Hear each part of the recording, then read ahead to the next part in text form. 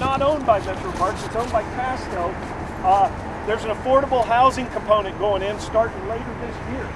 Uh, affordable apartments, and we couldn't be more excited about them. In general, people who don't have that easy access to a Metro Park are right out their front door. So that's kind of exciting right here. Then here, and then looping all the way around, way up North Williams Road, is going to be the first step in your next Metro Park. Steve, it's about 50 acres right now. About 50 acres right now. And we're going to talk about some other properties. There's some uh, land owned by AEP. Larry is in constant conversations with AEP. There's some land owned by ODNR. Larry's in constant consultation. then there's this little teeny patch of ground that's only about 1,100 acres owned by a major quarrying operation. We got our eyes on all of it. It's not going to happen tomorrow. It's going to be a slow process, exciting. Who remembers Scioto Audubon when it was an impound lot, warehouse, and inappropriate stuff? Larry, do you remember that? What's that? Scioto Audubon when it wasn't so nice? I do remember that. Yeah. Does anybody remember Three Creeks when it really wasn't all that nice? You're going to see very similar characteristics as we go today. So, any real quick questions on? Well, let me tell you what we're going to do. Today. We're going to hike. There's not a whole lot of up and down. There's one down that we're going to have to go up, back, up. But other than that, it's a pretty flat hike. Might be a little wet, might be a little muddy. Uh, staff's been out here and we kind of trying it out. We can thank Dan for drying it out a little bit. Dan, can I tell him, Dan? Yeah, go ahead. We pre-hiked it, and Dan broke one of the Metro Parks rules on Wednesday. Walk through a puddle. Dan, Dan he didn't walk through a puddle; he went swimming. he didn't like it when I told him. So, any questions before we get into a time traveling historic trip? So, where we're standing is on the north end of what was the Hartman Farms. Uh, Dr. Hartman was a renowned physician. Prior to that, I did a little homework on him. He was a farmer that was somewhat successful that then got talked into kind of mentoring under another doctor. I believe he went to Case Western before it was Case Western for med school. Became a doctor, was pretty successful. And then he he kind of took a disease or an ailment called catarrh or catarrh, I don't know how to pronounce it, and then he came up with a cure for it. Except he then told everybody every disease was catarrh. And he came up with a cure for every disease.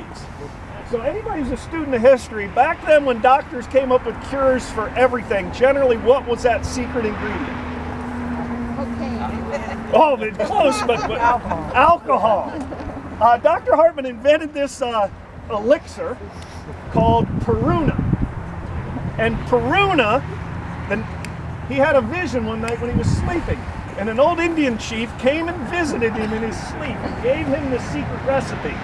Now, what's funny, you do a little bit of homework, that secret recipe seemed to change as people's tastes and desires, you know, ramp up the alcohol. Oh, wait a minute, alcohol's illegal, ramp down the alcohol. But Peruna was unbelievably successful. It was the number one, uh, there's a, a term for it, not elixir, patent medicine in the world. The number one. Mr. Hartman was bringing in $100,000 a day in Peruna sales, late 1800s, early 1900s. Not in today's money, back then. He built factories downtown to build it. His office building's still downtown. He built a hotel downtown for people to come stay in the hotel, take a trolley car down High Street, down to Hartman Farms, which is still a little bit of it's there. Google's kind of going in on the site. There's a little farmhouse. There's the old uh, farmhouse over at the quarry site. And you can come down and drink Peruna till your heart's content. He had a 5,000 acre farm where we're standing. At the time, it was the largest farm in the United States of America. It had the largest standing head of cattle anywhere in North America. It is where, who, anybody from Columbus, what's one of our derogatory nicknames? Cowtown. It's where Cowtown came from. All this is kind of new to me. It's a little bit of internet, a little bit of research. But I guess when Southerners would come up to either work on the farm or to visit Columbus, they noticed all the cows, hence the name Cowtown. So Dr. Hartman's like one of the richest, most unknown people in Columbus history. We all know big names in Columbus history, but they were unbelievably big. And then they started selling land off. We actually bought our piece of land off of the three heirs of Dr. Hartman. Very secretive, quiet family. Not you don't know. We never met them, but uh, that's kind of exciting. So we already traveled back to let's say 1900. That's our first step. But nobody likes standing around listening to Tim. Let's walk. if you have questions, I can answer them. Steve's going to kind of be towards the tail. Steve's one of our head designers in this park. He knows a lot. Dan over here to my right knows more about the park than anybody who's here almost on a daily basis. And if you don't ask questions, I get. Steve's got renamed. Oh, they got Southern Methodist University. Anybody know their mascot? The horse. Guess what the horse's name is? Peruna. It's still that way. It swims like Peruna.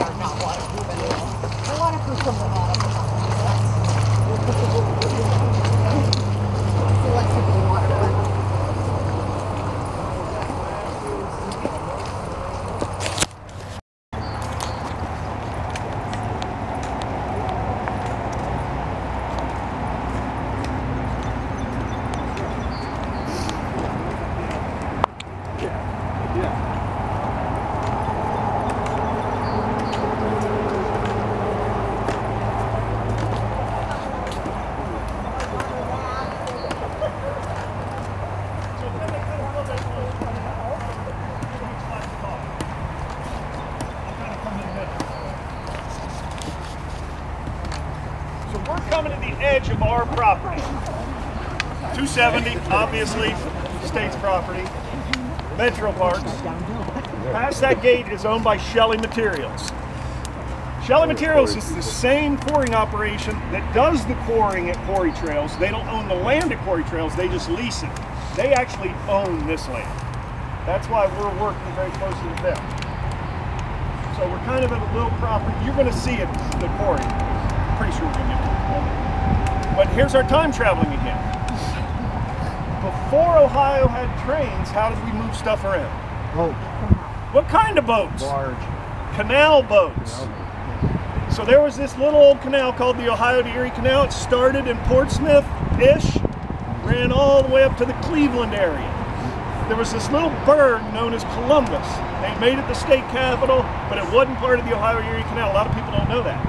It actually turned down a big Walnut Creek and headed up towards Cleveland, which orphaned Columbus. Well, Columbus couldn't take that, and they said, we're going to build a canal. So they built the Columbus Connector. So right down by uh, uh, the little village of Lockbourne is actually where the Columbus Connector started. Worked its way right up through here. And if you see those taller trees, those taller trees are the Ohio, part of the Ohio Erie Canal system. That is the Columbus Connector. Now what's really cool about that is one, there's some great history we can talk about it. There's actually still locks down in Lockbourne that, you know, we're working with them on some interpretive. But it's really straight, really flat.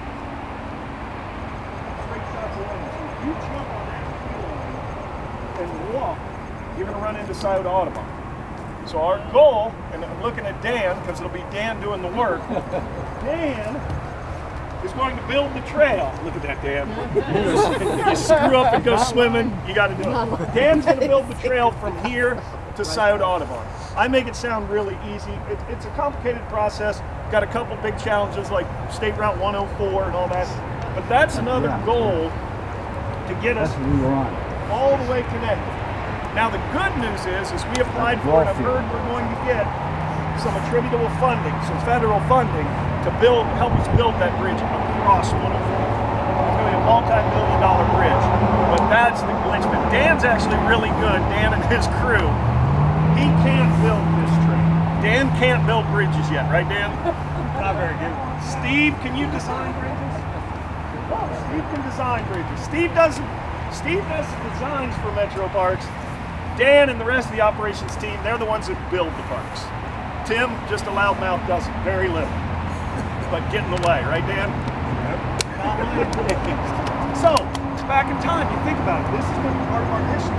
The Ohio to Erie Canal, what really made Columbus. Now, what's also kind of cool is after the canals were gone, the state took possession of the canal land. Well, the state leased this land you see these poles, and I'll go to the point it changes, to Columbus and Southern Power, AEP, whatever you want to call it. It's one of the lines that feeds downtown Columbus. And we're going to talk a little bit about what happened 18 months ago? Uh, No, just about a year ago. 12 months ago. Yeah. And if you remember, there were some rolling blackouts in Columbus. Uh, you're going to hear why in a minute. You got to raise your right hand, swear after me. We're not going to go expose this anywhere. But we believe, and we're just using logic, what happened.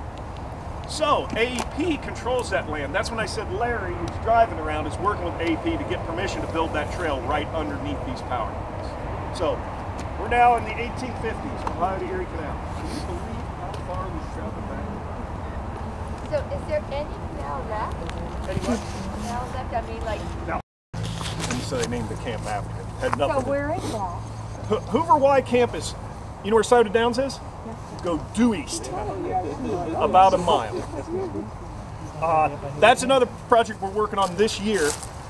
Uh, once again, Dan's not doing that work, but Steve's going to be doing that work. Is that still Franklin County? yeah. Yep.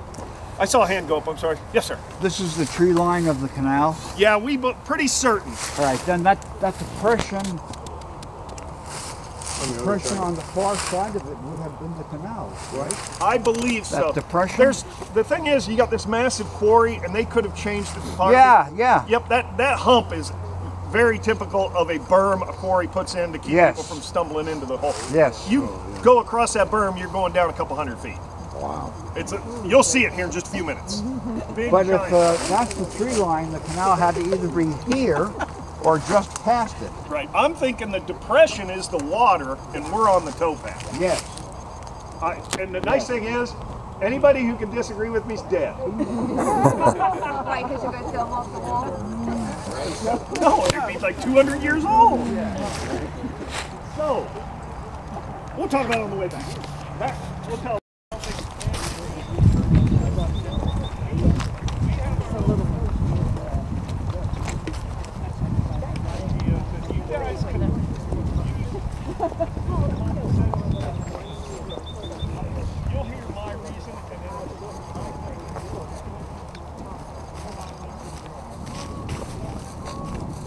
Wow, that really goes down in there. Yeah. Maybe it's an abandoned quarry. It doesn't look like. Oh, it looks so. I thought I heard him say it was a sinkhole. Yeah. Oh, they've been here with ATVs or something.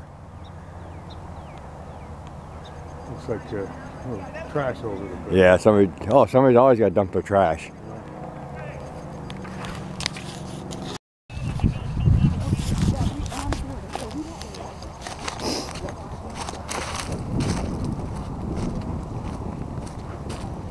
Wow, this is cool.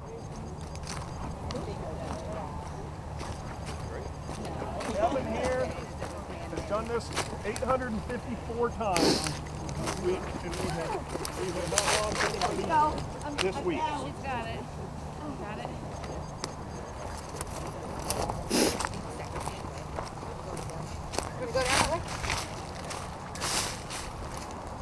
Can you get down over here too? I mean, gravity will take you down.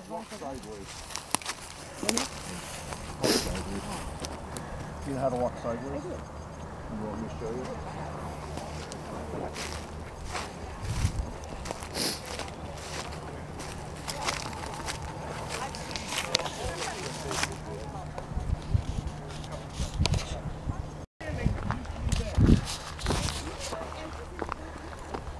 Yeah, so we are what? 28, 30 feet below what used to be 1200. So, there are engineers looking at this. There are other engineers looking at this. There are, we've had geologists looking at this. The only official answer we can give is there was an event. Now I can tell you what Tim thinks happened. We had two and a half inches of rain in the wintertime, which a lot sheeting happens. We had an already high Scioto River. Scioto River flows from north to south. Believe it or not, there's a bend in the river up here that the river can actually crest. See the green jacket down there? Double that far and get into here a little bit. The river can also crest and come this way. So on that event, the river actually crested, came this way. We think the beaver might have had a little bit to do with that. came this way. And kind of that washout there was the retention basin for Lowe's.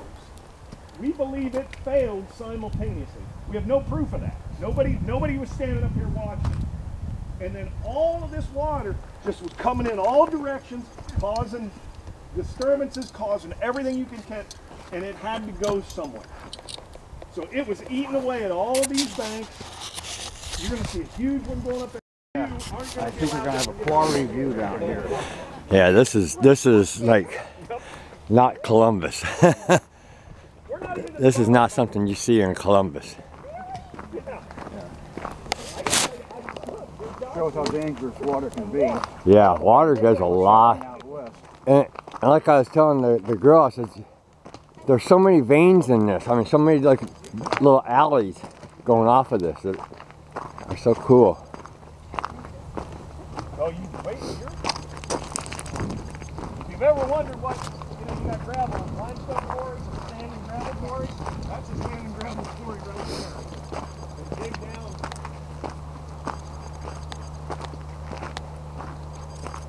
Now you see the conversation about where was the canal gets a little bit trickier.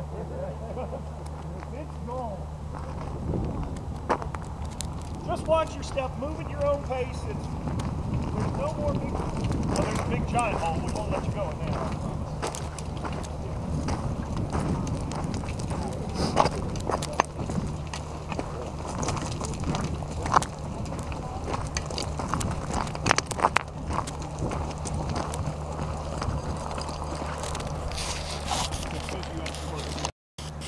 That are designed to float.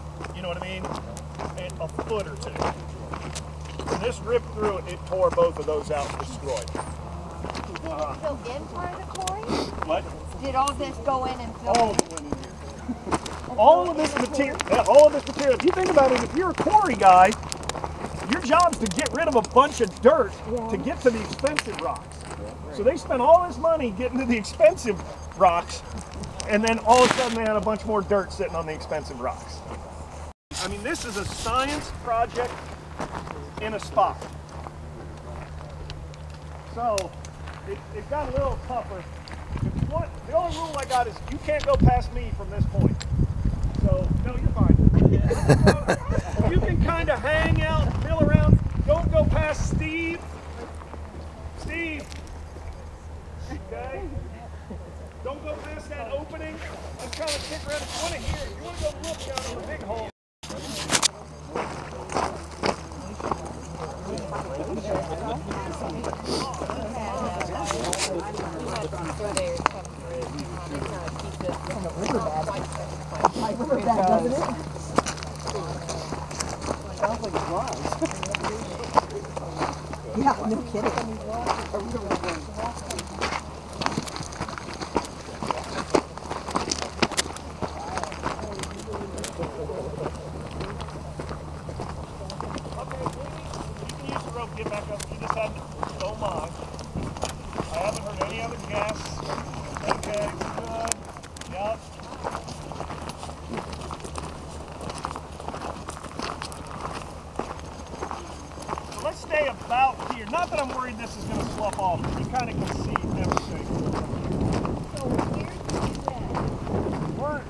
Trespassing now. Congratulations. Uh,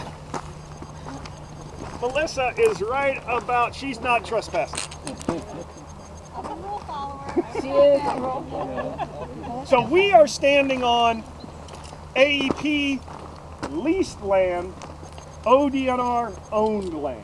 They have an indefinite lease. Water down. And then, There's water flowing down.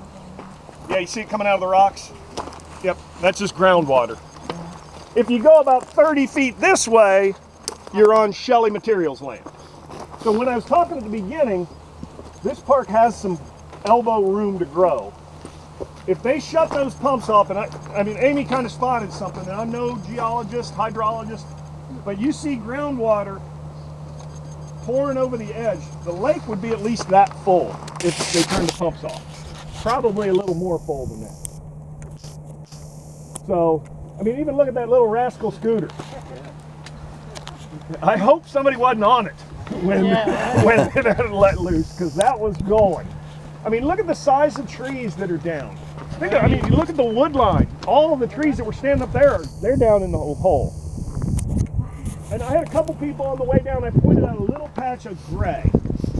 You remember that? Yeah. You You see some of it over there? Yeah. How did they get a concrete truck here to wash? There it is. That's concrete washout, right? Come on. Isn't there closet geologist here? I didn't know this. I'm acting smart all of a sudden. well, you think about the time. I mean, Oh, it- know, it- it's, it's a time capsule we're sitting here on. And and it just look. I mean, look over there. Now the rust is new. That's the introduction of iron flowing through the water. But you see the real white rock over there? That that wasn't there the other day. That they set off a charge in there this week. So they knock those edges off. The rock fall down in the hall. They then break up the rocks, and then that's what your house is built on, or the road you drove here on, or whatever. So this hole here is about 600 acres. The tree line over there is the Scioto River. Then you got another 700 acre hole on the other side. We're, we, mean Metro Park staff, are learning and pouring here, here. And we have photos. There was one sitting up there that did, they looked like toothpicks when we were flying the drone over. That's why we didn't know what they were. But, uh, yep. Yeah. You mean the yellow? Yeah. Yeah, that's the equipment. So, I mean, that's just a excavator, some bulldozers. The drill, see the kind of grayish thing? Yeah. That's a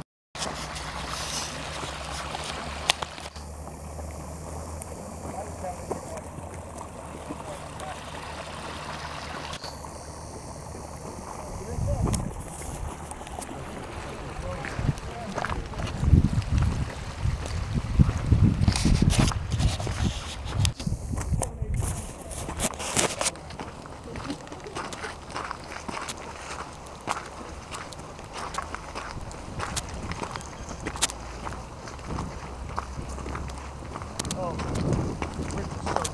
see a lot of that glacial flow right there.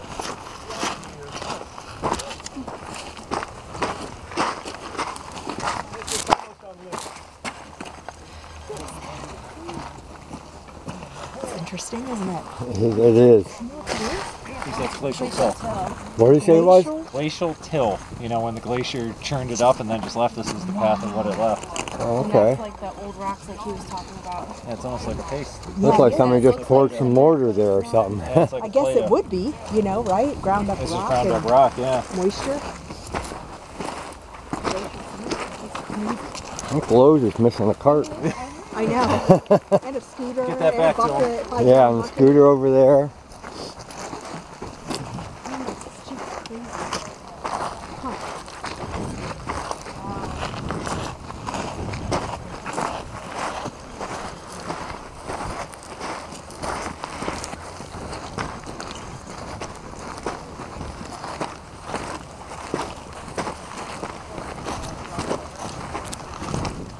That way up there? I see some people way up there. Oh, I know what that is. So that's a foundation for one of the electric. No, that's Nathan did that. Nobody's had equipment in here. That's that's nature did that. So when this happened, they didn't have to come undo anything. Oh no, they shut them. Yeah, I'm sure they shut the line down. Well, that's what I meant. Yeah. But they didn't have to like, oh, this pole is partly down, I gotta fix that. No, they those are all new up They there. definitely are going up.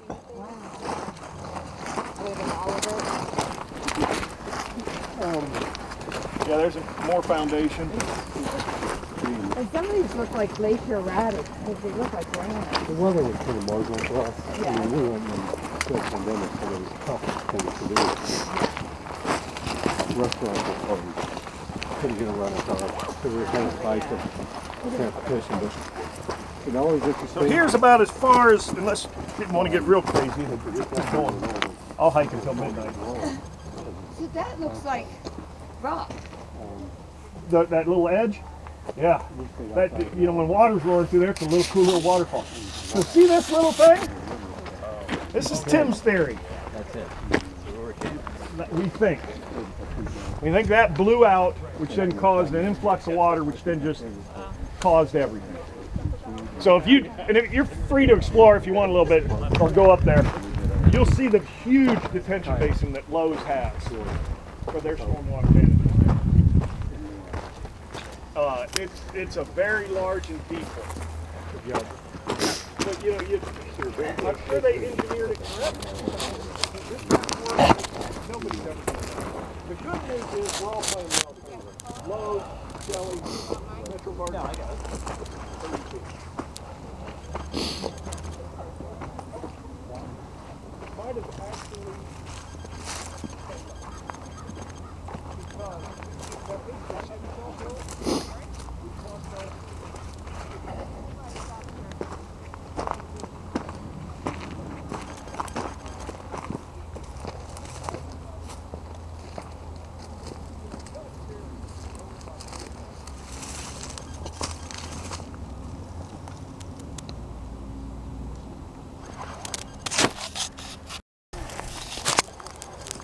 Okay, he said that wall over there is actually a retention wall from Lowe's, which is right up there.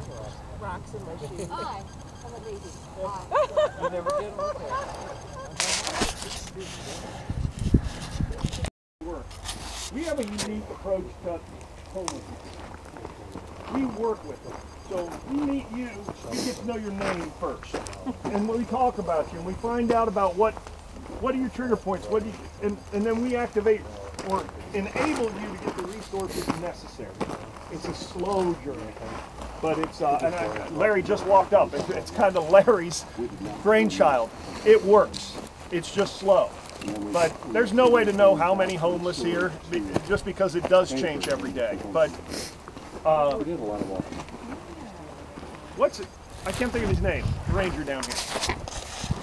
Like this. Inappropriate behavior doesn't like people like us. They, they want to be alone. They want to be themselves. Uh, we're excited.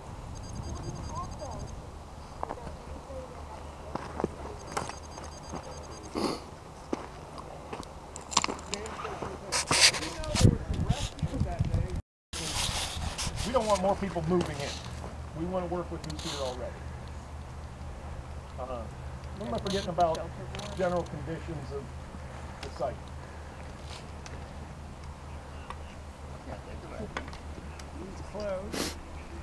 Yeah, it's closed. This is not a, oh, I should have done that at the beginning. This is not a park. You are now not part of a secret group that can come down here and lead hikes on the weekends. Or you will meet Stefan. Yeah, and it's the worst thing you can say is Tim told me I was allowed. That is guaranteed red flag. Uh, but no, it, we're going. I mean, we are working here today, not literally today, but we've done some invasive removal. We've done some cleanups.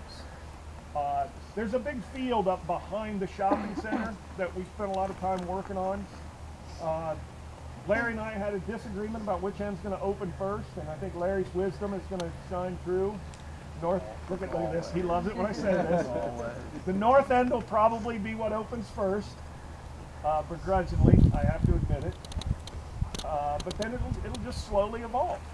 And uh, hopefully you guys will be part of all of it. And then you'll get to tell the story in years. Oh my God, we were there and there were shopping carts, there was this, there was that. And now look at it. I'll tell another story. Larry, you probably remember the phone call I made to you about 15 years ago. I was working, I can't remember if I was working. I did it. Like a pro. Trade you. Here you go. Here you go, my Thank you. I did it. So if I did, I could do it. so I'm telling you.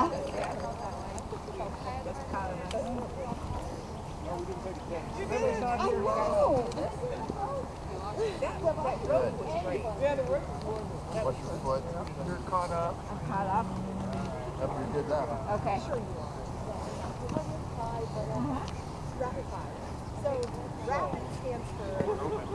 It's all good.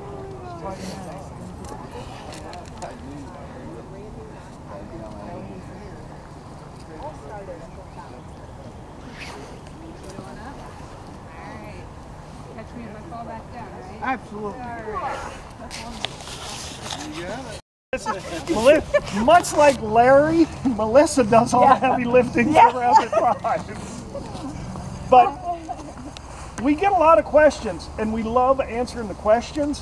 What we don't like are the people who know what we're doing that have no clue what we're doing. Is that a good way to describe it? Uh, it really, and No good deed goes unpunished. A- Amy, Amy's got to jump in, but it really is. If you so, it kind of started as a as a, a group project three, four, five years ago. And early on in the group projects, one of the group identified that about 90% of the land along our rivers in central Ohio, the big five, are some way, shape, or form publicly owned. And as a kid that grew up in Columbus, a kid that has been in every creek, river, stream, uh, to me, it's like, yeah, they've always been there. But they really aren't. Because unless there's a sign that says welcome, unless there's a, a, a, a clean place to be, a safe place to be, they're really underutilized assets. And when I say underutilized, and this is where Amy can jump in, underutilized means a place that you can catch crawdads, a place that you can just sit and reflect, a trail, a restroom, uh, something cool to do. That's rapid five. And then you see some of the visioning with hot air balloons and zip lines and yeah, it's visioning stuff. And that's kind of where this little conundrum has has happened. Some But- people daydream pretty. Yeah. boldly, I guess, yeah. And, and I think if you have an. and, and this is part of our healing. So we'll just say that. But um, I, I saw the book. Um, somebody showed it to me. I was talking. I, I still work a lot, advising governor, president, others, and this concept of One Health, um, G7 concept about human health, uh, animal health, and the environment are all one thing. Um, it was actually the old D. Lonnie King of the OSU of vet school who coined that term, and now it's it's been around since the 60s. But of course, all these things are related. It almost seems like no kidding, but we're rediscovering that with things like zoonotic diseases and how the environment affects our health and, and vice versa. So I said something about caring about that, and someone showed me a book. I went to a meeting thinking I would volunteer to do the health and wellness aspect big of mistake. it. Somebody donated money and just said, "Hey, let's start a nonprofit to look at that." And that's all we are right now. We're beginning to explore. There were um, five design firms that looked at our waterways. They looked at systems all over the world. These giant park systems. Um, LA right now, if you don't know, is doing 51 miles of the LA River, which is basically a concrete drainage. You know, that cars go in in movies and all that. but they're actually doing the whole thing similarly, layering arts and history and culture all throughout it. What I loved about this dream um, isn't any one of the visions because 80 jurisdictions are now rolling. We're not actually doing any of it. 80 jurisdictions are trying to design what they want, but they just want to make sure they connect to each other. And that we have east-west connections in our city for bikes, for rapid transit. But it's about human health and well-being, and it's about putting nature at everyone's doorstep. So it's every neighborhood. That's you know, we're working a lot right now in Linden, we're working in Whitehall, looking at opportunities for outdoor classrooms to whole new walkways and so it's it's really we know the nice areas of town are going to have access, but not everyone would. So it's really a big public health project. Nobody knows that, but it's part of what I've always done. I was doing youth homelessness and working at the Columbus Foundation when the governor discovered me. I didn't know him. Somebody saw the work I was doing. So to me, it's all the same thing I've always done. But um, Melissa, I don't know if you have any other thoughts. Sure, sure. Thank you, and thank you, Tim, and to your team Yeah, for having us be out here today, and to all of you. Yeah. Um, I'll say what brought me to the project too was public health. That's my background. Um, I tell everyone that it's public health disguised as a parks project. it's the way that we can get social determinants, right? Taking care of housing and education and all those things that we know that impact health. I think the beauty of this project here, Great Southern, is actually we're in one of the most underserved areas of Columbus. Um, and we know that nature heals. And so it makes me emotional even talking about it. It just, you know, knowing that we can bring um, something to the people of this, of this area that brings joy and recreation and economic development, environmental stewardship, all the pillars and the values that we believe in in Rapid 5 all wrapped up right here in this project. So thank you for allowing us to be here for the sneak peek. And I have a question for you. And Keith Myers, um, he was a gentleman who he, he started MKSK, a landscape design firm. He's sort of like a Frederick Law Olmsted of our area. He um, he went to John Wolfe back, uh, talked him into removing the dams out of downtown to restore the river back to its flow. Everyone thought the downtown would flood, the bridges would collapse. Um, they had to figure out things like how to hand carry, like one EPA agent and six volunteers. Maybe some of you helped hand carrying mussels to do that. And um, he's he's responsible a lot for what's happened around OSU as well, trying to restore that. Um, but they, it was it was during the pandemic they got together with all these young people and said, imagine what could be possible, and that's what the book was that I saw, and you can still find.